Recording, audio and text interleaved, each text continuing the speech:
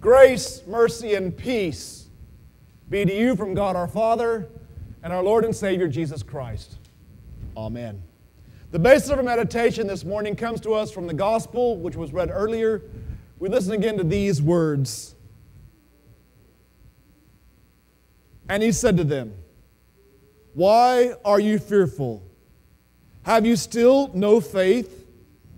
And they were filled with a great fear. And they said to one another, Who is this then, that even the winds and the sea obey him? Dear brothers and sisters in Jesus Christ, our Lord and Savior, a renowned artist by the name of Paul Gustav Doré, who lived in the 19th century, was traveling through Europe one day when he found out that he had lost his passport.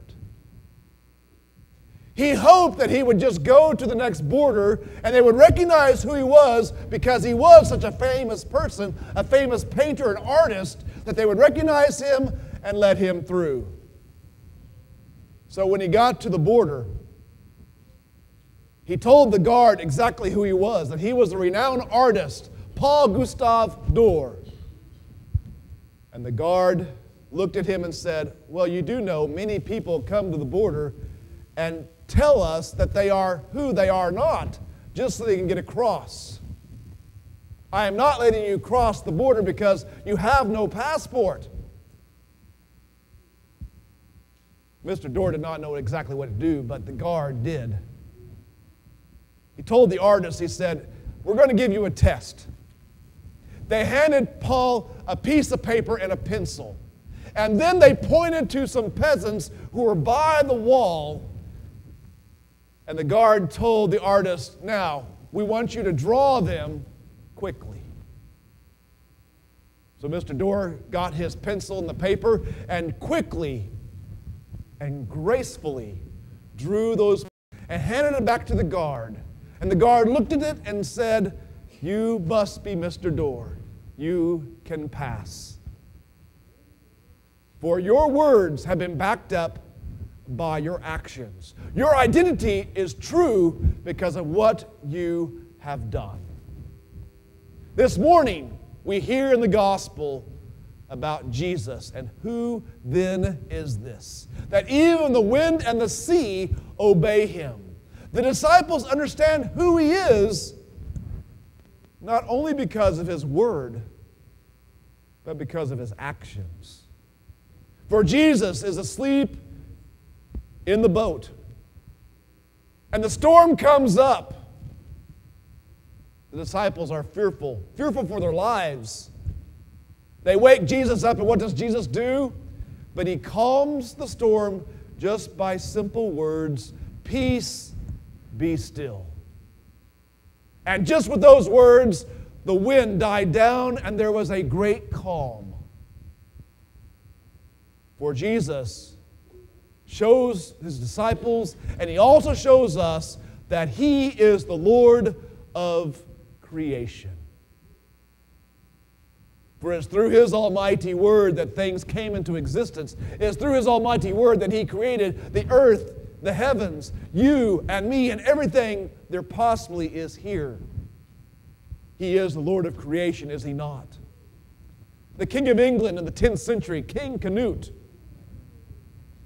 he wanted to establish this to his people. And he did this not just by word of mouth. What King Canute did is he took his throne and set it on the beaches of the shore, on the shoreline. And then from that throne he sat upon it and he gave the command to the sea. He said, You shall not come into my territory, nor shall the tide come and touch the hem of my robe. But then the tide came in. And King Canute showed his people exactly who was Lord of all creation. The king said these words Let all earth's inhabitants know that the power of kings is vain and frivolous. Not is only the king worthy of the name except him by whose command heaven and earth and sea obey. What a powerful lesson. And then at that, the king Canute took off the crown from his head and placed it on a crucifix of Jesus upon a cross, showing who truly was the king of all creation. We must always recognize who we are and who Jesus is. Not just the man who walked upon this earth over 2,000 years ago, but we must recognize him as our Lord, as the one who made the heavens and the earth, the Lord of creation. And then at that, he is the Lord to be feared. For he is the one who created us, and he is the one who sustains us. And he is the one whom we should fear. I think it's an interesting story about the 23rd President of the United States. You may not even know, even know who the President of the United States was, the 23rd one. I actually had to look it up. It was Benjamin Harrison. The thing is about Benjamin Harrison, he had a fear. Because during his term in the office of the White House is when they installed electricity. And he and his wife Carolyn were afraid of the electricity. As a matter of fact, they would not touch the electrical switches. If all of their maidservants and manservants in the White House would leave for the day, they would sleep with the lights on because they would not touch them. They were fearful of electricity. It's really a story for us as well, an illustration for us to live by. No, I'm not saying leave all your lights on at home or don't touch them. What I'm saying is this we must be fearful of the one who created us in respect and in awe because he is the one who commands the sea and the waves and the wind that they would be calm. He is the Lord to be feared. As well, the disciples did fear, not just they feared the Lord, but they feared for their lives. And the fear which I am describing to you this morning is not necessarily the fear for our lives, but even more so the fact that we should respect and honor and be in awe of our God, especially because He is the Lord of our salvation.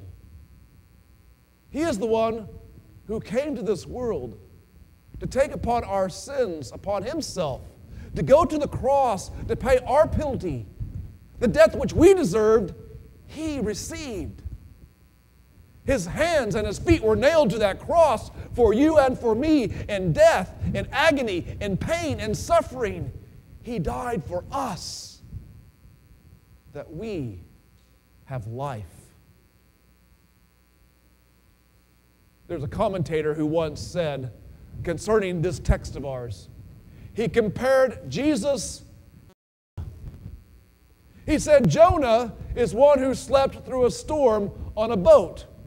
In the same way, Jesus slept on a boat in a storm. He went on to say that Jonah is also one who calmed the storm. Of course, he did it by sacrifice, by being thrown into the sea. And then Jesus also calmed the storm by just simply speaking the words, Peace, be still. But then Jesus did the ultimate. Very much like Jonah, but Jesus himself gave up his life upon the cross, taking our sins with him, that God sees us no longer as sinful, evil people, but because of Jesus, he sees us as forgiven. He sees us as his redeemed people. He sees us by His grace and by His mercy. And through Christ's death on the cross, God truly loves us. He is the Lord of our salvation, the Lord who is always with us, always sustaining us. I don't know if you're aware of this, but for two weeks in this sanctuary, there was a small plastic container with a white lid. It sat in that windowsill right there. I don't know who put it there. I don't know who picked it up, but it was there for two weeks. How many of you knew it was there? I knew it was there because I walked by it one day, and only one of you knew it was there, but it was still there. In the same respect, how many of us realize and recognize the Lord of our salvation, the Lord of creation, the Lord who is to be feared, is with us constantly and always? We can't see him, but he's there.